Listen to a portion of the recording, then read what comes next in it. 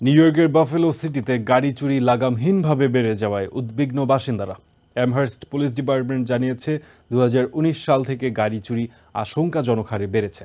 গাড়ির নিরাপত্তা নিশ্চিতে সচেতন হওয়ার পাশাপাশি গাড়িতে ব্যক্তিগত গুরুত্বপূর্ণ জিনিস না রাখার পরামর্শ দিয়েছে পুলিশ।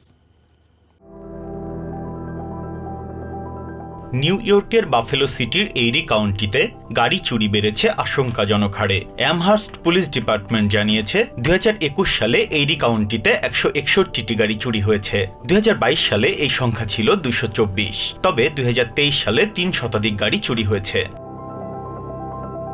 শুক্রবার ভোররাতের চিত্র এটি। ছবিতে দেখা যাচ্ছে, এক ব্যক্তি ড্রাইভওয়েতে রাখা কালো গাড়িটির দিকে এগিয়ে যাচ্ছে। এরপর গাড়ি থেকে ক্রেডিট কার্ড চুরি করে সাদা জিপে করে পালিয়ে যায় ওই ব্যক্তি।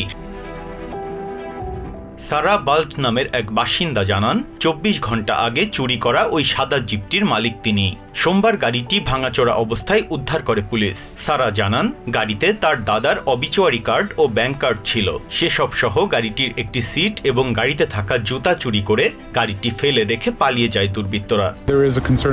অ্যামহাস্টের বাসিন্দা স্কট ম্যারাফিনো জানান গাড়ি চুরির ঘটনা দিন দিন বেড়েই চলেছে। চলতি বছরের মে মাস পর্যন্ত অ্যামহাস্টে একশো চুয়াত্তরটি গাড়ি চুরির ঘটনা ঘটেছে বলে জানিয়েছে পুলিশ ডিপার্টমেন্ট যা গত সাত বছরের মধ্যে সর্বোচ্চ।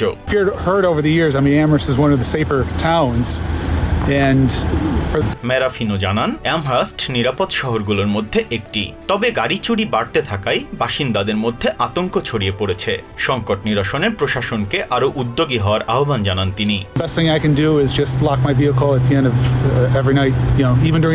গাড়ির নিরাপত্তা নিশ্চিতে ব্যবহারকারীদের আরও সচেতন হওয়ার বিকল্প নেই বলে মনে করেন ম্যারাফিনো।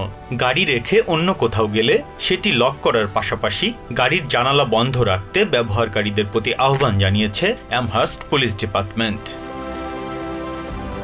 Biprajit Chanda, TVN twenty four news desk. New York থেকে সম্প্রচারিত টিভিএন টোয়েন্টি ফোর টেলিভিশন, বিশ্বজুড়ে বাঙালির কণ্ঠস্বর।